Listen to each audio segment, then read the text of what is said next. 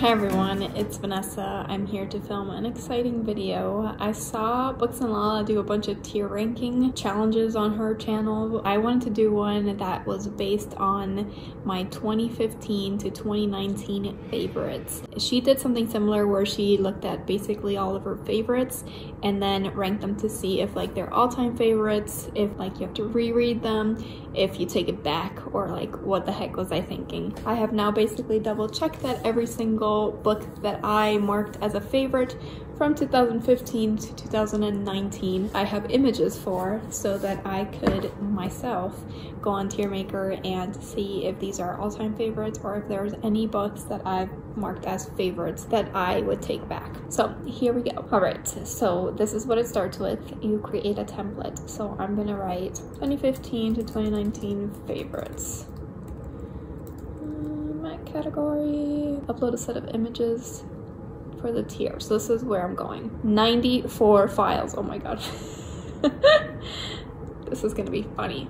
Okay, so this is what I came up with for the like labels for each row. All-time fave, I stand by it. It's good, but, and these are ones that I feel like, yes, I liked, but maybe I shouldn't have put on my favorites list. I think there's gonna be some like that. Um, then I need to reread. I'm sure I'll have some of those, and then I take it back. So ones that should not have been on my favorites list, period. I don't think they're really organized by like when I read them. I know that A False Report, A True Story of Rape in America is an all-time fave. All the Truth is Out. Hmm, I really want to reread it, but honestly, I stand by it.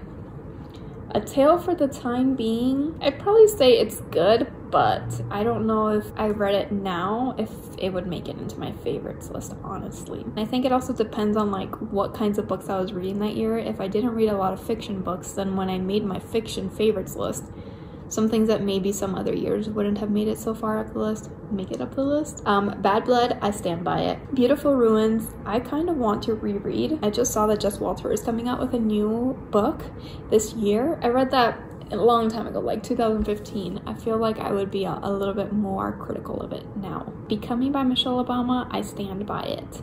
Becoming Unbecoming, I stand by it.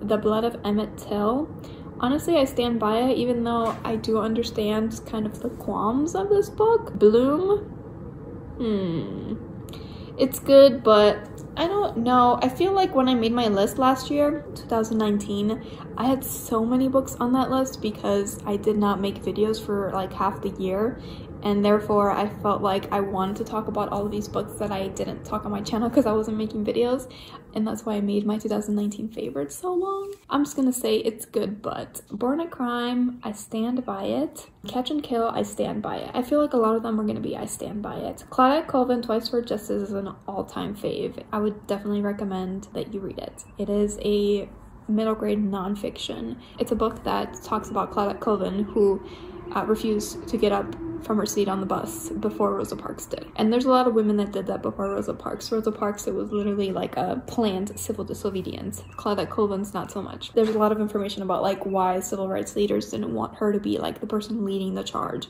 and they needed someone with a spotless record like Rosa Parks to be the icon. Columbine, I would say it's an all-time fave.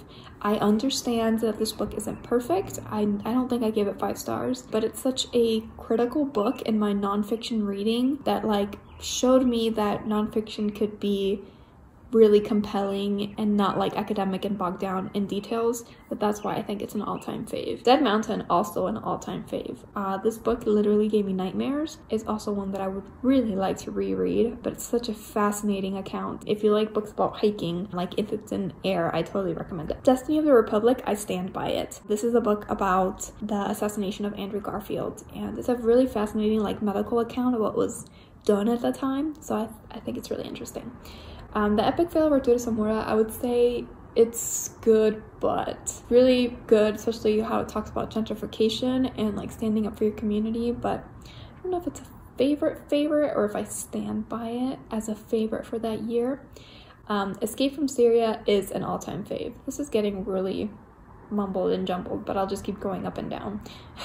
Evicted, I would say, is an all-time fave. Even though it was hard for me to get into, once I was into it, I was into it. And again, it's one of those like Columbine that's such a an important piece of nonfiction for like my nonfiction development as a reader.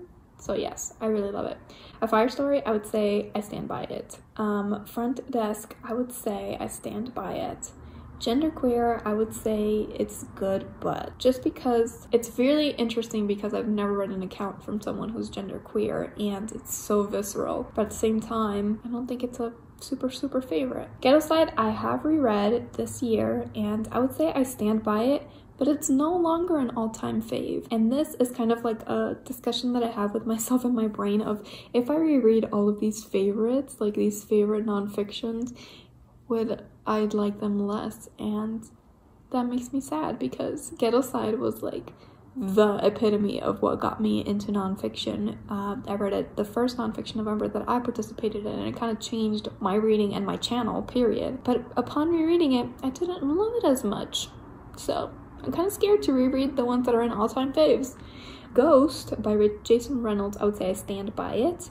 The Glass Castle, I would say Honestly, I kind of say I take it back because it has not stuck with me. I don't know, I don't think about it. I feel like I put it in my favorites partly because it's like so many people's favorites and it was a good nonfiction book that I read that year, but I don't know if it's a favorite. Um, Goldie Vance, I would say, is, I stand by it, close to an all-time fave. Good Talk by Mira Jacob, that's an all-time fave. We know it. You know it. I know it. Um, Guts by Raina Telgemeier, I would say it's good, but I put way too many graphic novels in my 2019 favorites, and I think again it's because there were so many that I didn't get to talk about because I just wasn't making videos. But that's my own darn fault. Heroin, I would say, honestly, I kind of say I take it back, honestly. It's a good book. It's a four-star book, but is it a favorite? I think it had to do with also how many fiction books that I read that year. So it's kind of the same thing as some of the other fiction books on here. If I don't read very many fiction books, how is it possible so many of them are going to rise to the top? Just because there's just not very many to compare it to. Home After Dark, I would say I stand by it. I really love that book. Um, Harry Potter and the Half-Blood Prince, I would say all-time fave. It is my favorite Harry Potter book. Into Thin Air is an all-time fave for sure. Elsa American Dream, I would say I take back honestly it's kind of between it's good but and I take it back. But I feel like overall I take it back. I didn't feel like it went into depth as much as I usually like my graphic memoirs to go into depth. It has a lot of interesting conversations about microaggressions, but I feel like I take it back. Jonesy, I take back. Um, this is when I first started getting into graphic novels. I think I put this in my like 2015 or 2016. It's a really funny graphic novel, but I think I tried the second volume and I didn't get into it, and this has been long forgotten. I, I, I don't remember talking about this in the past few years, so I take it back. Sorry, Jonesy. Just Mercy by Bryan Stevenson is definitely an all-time fave. Kid Gloves by Lucy Knisley, I would say I stand by it. Really like that book. Kindred, I would say, is an all-time fave? It's an all-time fave adult fiction book because it showed me that I really like suspenseful fiction, ones that genre bend really well, and if it has like history like this one does. So for fiction, as you can tell, there's barely any fiction in the all-time fave list. But for fiction, I think it's up there. Either that or I stand by it. So let's see how it settles there. Know My Name by Chanel Miller, I would say I stand by it. Not a favorite favorite of all time, all time, but she writes very well. Laura Dean keeps breaking up with me. I would say I stand by it. Lincoln in the Bardo, I take it back.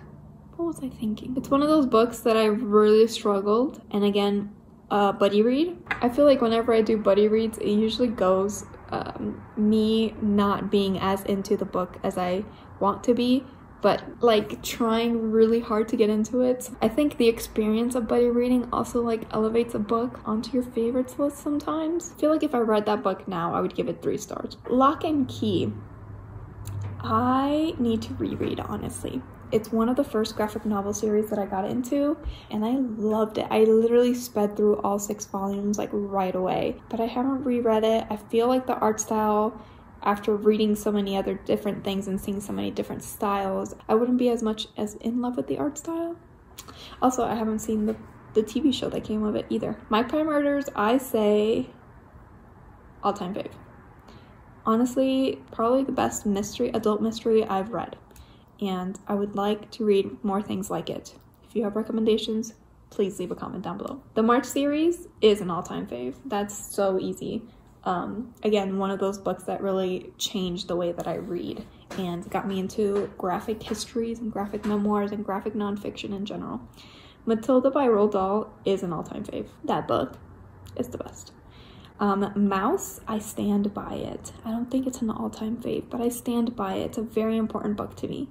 The Miscalculations of Lightning Girl for a middle grade book is an all-time fave. And we'll see, I need to read more and this might change, but right now it's an all-time fave middle grade book. My Brilliant Friend by Elena Ferrante, I stand by it. And with that one, I should also do, see if I can spot it, The Story of a New Name. I also stand by it. I have not read any more in the series. My friend Anna, I would say it's good, but it was one of those books that I read so quickly, I literally devoured, but it has some problems. My Time Among the Whites, I would say I could now say it's an all-time fave. I keep thinking about that book since I finished it like three months, four months ago, and I definitely want to reread it. The New Jim Crow, I stand by it. It was not an easy book to read, like the style and the content. Um, it's definitely a more academic text that I could see being taught more than just like read for fun. For nonfiction reading, it was one that had been on my list for a really long time, so and I really enjoyed it, so I stand by it. Normal People. Hmm. This is between like all time fave and I stand by it, but I think I'm gonna put it in I stand by it because I know that it's not a perfect novel and I would like to reread it, maybe even listen to it this next time. But again, one of those adult fiction books that I read very quickly and I felt so involved with the characters, even though they're not great people. Um, the 100 Nights of Hero, I would say it's good, but yeah, I haven't read any more Isabel Greenberg. I feel like I like her illustration style. This book is a lot about female empowerment, which I liked. Didn't stick with me that much, and I read it a few years ago. On the come up, I would say I stand by it. Um, Outlander, I say I take it back. It's kind of between I need to reread and I take it back, but I don't want to reread it. So it was a struggle for me to finish that book. I really enjoyed the TV show. I watched like the first two seasons but then I fell off the wagon and I just didn't care about it anymore. It's got its own problems. We we all know. Persepolis is definitely an all-time fave.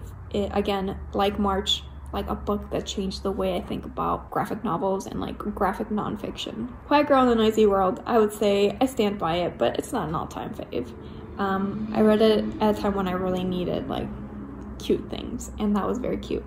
Reading with Patrick, I say I stand by it. Rebecca by Daphne du Maurier is an all-time fave for sure. Um, RX by Rachel Lindsay is a graphic nonfiction book, and I would say I stand by it. It's pretty good. Sabrina, I also stand by it, honestly. Um, not an all-time fave, but I stand by that weirdness that was that book. Sadie is an all-time fave. I feel like I've been trying to replicate the feelings that I got with Sadie ever since I read it. I want to read more books like it. Again, not a perfect book, one that I rated probably four, four and a half stars, but it's got, it's cemented like a place in my brain. And I think that's why I think about it so much. That experience that I had was so like, ah, I was frantic reading that book. Salvage the Bones by Jesmyn Ward. I would say it's good, but um, this is a book, again, that was kind of like a booktube darling and I really wanted to read.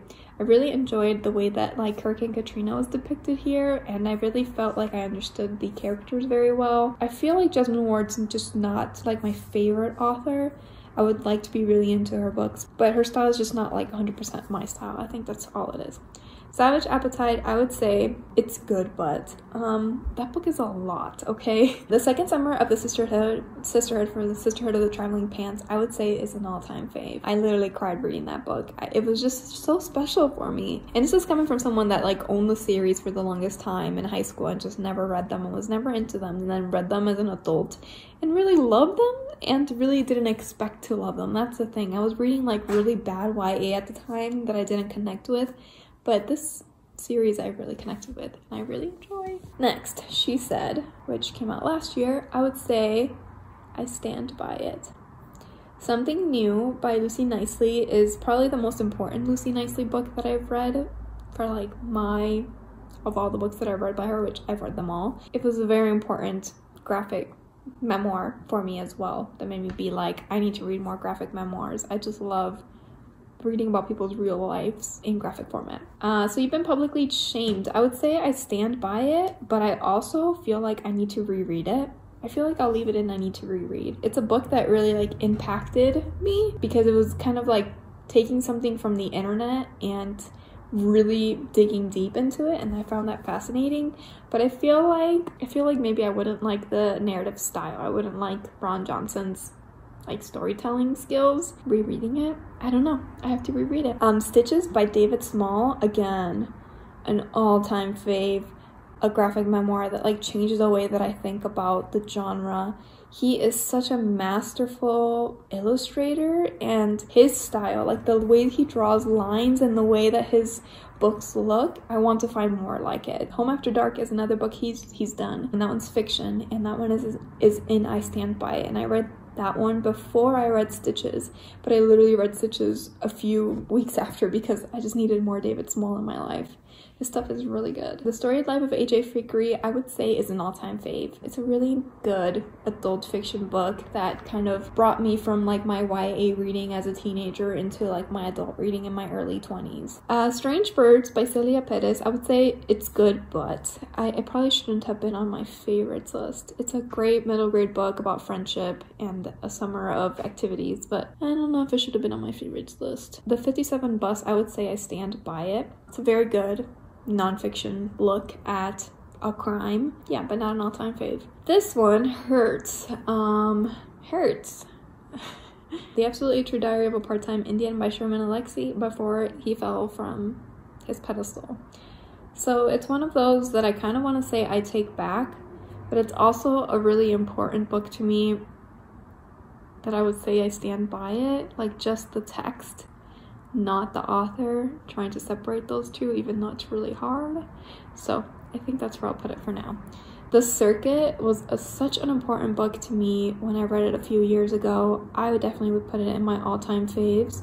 It was the first time that I truly felt like I found my family dynamic, my immigrant family dynamic in a book even though going into it I wouldn't have expected that because this is a book set in the 20th century and it's about farmers and like my family weren't farmers but just like the little things of the kid going to school and his experiences like his everyday life experiences made me reminded me of coming to this country. The first time that i truly saw like mirrors reflected you know and that's why it's an all-time fave. It's a really short book too if you haven't read it and if you're looking for more latinx reads. The female of the species i would probably say is an all-time fave even though i know it's not a perfect book again a very important book kind of like sadie is in like the ya sphere of showing me like gritty and like messed up teen girls who are just like fucking shit up. And that's what i loved about the female of the species. It is not pretty and neither is sadie. The flintstones i really liked. I stand by it. It was a really fun book if you like satire and if you like graphic novels. Definitely pretty good. The girls by emma cline it's one of those that i need to reread but I'm I'm scared that I won't like it as much. Again, always trying to find a book that's like The Girls in its description of girlhood. If you have recommendations for that, please let me know in the comments. I would put it in all-time fave though. And The Hunger Games by Suzanne Collins, I would say I stand by it. It's not an all-time all-time fave, but it still holds up. Honestly, it's still good. The Immortal Life of Henrietta Lacks, I would say I stand by it. Very good nonfiction book. The Only Plane in the Sky is a new all-time fave as of a few months ago. And The Poet X, I would say I stand by it. As you can see, I didn't put her second book on this on any of my favorites list, even though I read it. I didn't love her second book. Her third book just came out, so we'll see if that one ends up in a favorites list. But The Poet X also, like The Circuit, had moments of like I saw my family experience, my Latinx family experience on pages and I, I really valued that especially how it talks about like religion and how girls are treated in a family versus boys. I found that very relatable honestly. The vegetarian i stand by it. I kind of want to put it in all-time fave but i stand by it. I guess that's where i'm gonna put it. The wild robot i stand by it. That's a good one. This one summer is an all-time fave. And it will always be an all-time fave. I have reread it It's not as perfect as the first time I read it, but it's a book that got me back into reading in 2015 and was so important to me. I saw myself as a teen girl in this book and how like moody you are and just not a great person when you're when you're that age. To dance, I would put in it's good but I wish it was longer. I wish it did give you a little bit more, but I thought that it was worth my time and it, it taught me something about a new place. So that was fascinating to me. To Night Owl from Dogfish is an all-time fave middle grade book. It was really special. Um, Trainwreck, I would say I stand by it, but I also feel like I need to reread it. And I I really enjoyed my audiobook experience, so that's how I would want to reread it. But I feel like I could see how it wouldn't be as perfect this time around. And I read it, I believe, like 2016, so it's been quite a while. So I'll put it in I need to reread. Violated, I would say I stand by it. It is a very good nonfiction book about sexual assault on college campuses, and it focuses on Baylor University. It's very fascinating. I'm looking at Title IX and looking at like Title IX versus criminal proceedings, and very aggravating as books like that usually are. The War That Saved My Life is definitely an all time favorite. I really enjoy that book. We Were Feminist Once, I would say, is an all time favorite. It's a book that really changed how I thought about feminism and how I thought about the way that I think about feminism and how I perform feminism. So it's a really fascinating book. We're not great as humans, just in general, we mess up all the time. And as feminists, we need to keep being better. A few left. What the Heart Knows, it's a poetry collection. Honestly, I stand by it. It's a really good poetry collection. I read it when I was really down and it's a very inspirational. It wants you to find your inner like lion's roar and I really valued that. I really like the wordplay and it had really beautiful illustrations too. When Breath Becomes Air, I would say I would say it's good, but it's kind of one of those like books that you know you're gonna cry because of like the result, the conclusion, the sadness that comes from that. But I think like the book before the conclusion is what makes me put it in it's good, but like there's just something about it that it's not a I stand by it or a all-time fave. Where'd You Go Bernadette is an all-time fave. I think this is the only book that's ever made me like laugh out loud for multiple minutes ever. While the city slept, I would say and I stand I put it in I stand by it very good true crime and look at mental health too. It's really fascinating. And Wish Tree, I would also put it in Stand By It. I really like that book. Okay, that is all. So 32, so about one third, ended up in all time fave. 40 are in I Stand By It. 12 in It's Good But. 4 and I Need to Reread and one, two, three, four, five, six, and I take it back. So there's really not that many and I take it back. I hope that you enjoyed watching this tier maker video. And if you have read any of these or would like to read any of these or have something to say about any of these, let me know in the comments. I will see you in my next video. Bye-bye.